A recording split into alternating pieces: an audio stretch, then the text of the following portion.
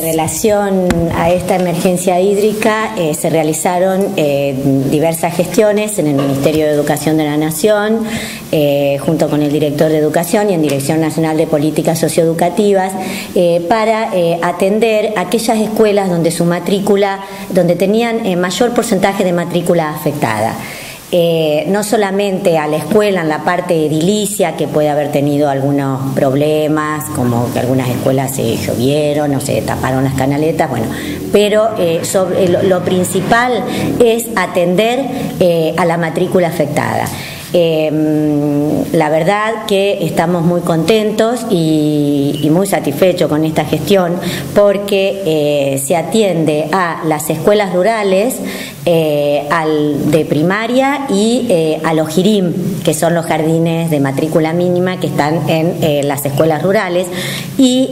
a cuatro servicios educativos del distrito, como son la Escuela 29, la Escuela 3, el Jardín 906 y el Jardín 909 que eh, fueron los que tenían el mayor porcentaje de matrícula afectadas.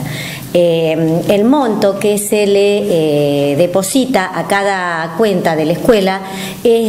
va desde 40 mil a 120 mil pesos de acuerdo a la matrícula. el total del monto en el distrito es de 1.080.000 pesos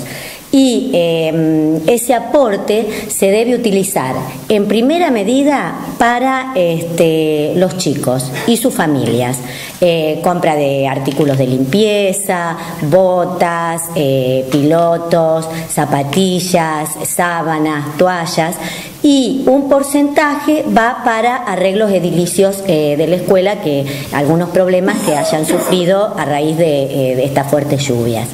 Eh, es importante también decir que este año también, a raíz de, estas inundaciones, se aumentó la cuota de eh, las becas para alumnos judicializados, que eh, se entregan todos los años a,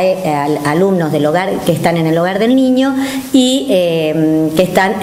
atendidos en el servicio local.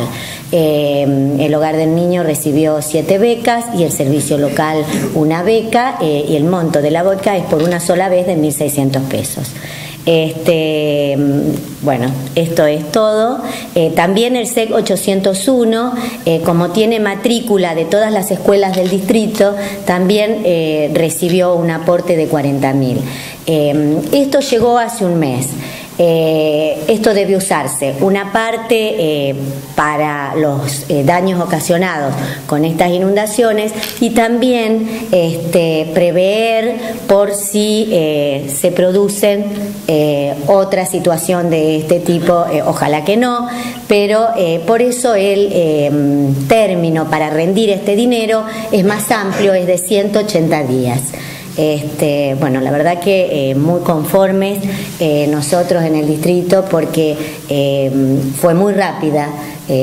fue muy rápida la llegada del dinero para este, solucionar estos problemas, porque sabemos que si el chico este, está bien contenido y tiene todos sus útiles, la ropa adecuada y puede concurrir todos los días a la escuela, es ahí donde va a aprender mejor.